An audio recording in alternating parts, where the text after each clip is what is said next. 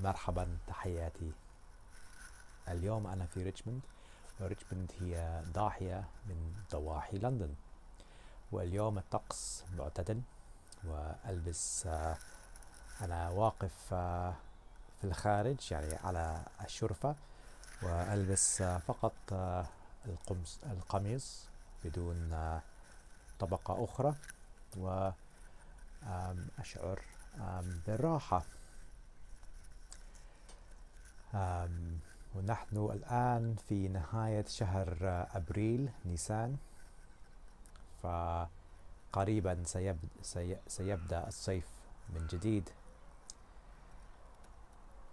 وأحب أحب لندن عندما الطقس فيها معتدل ولكن لا أحب أن أعيش في لندن عند الحرارة الشديدة ولا عند البرد القاسي.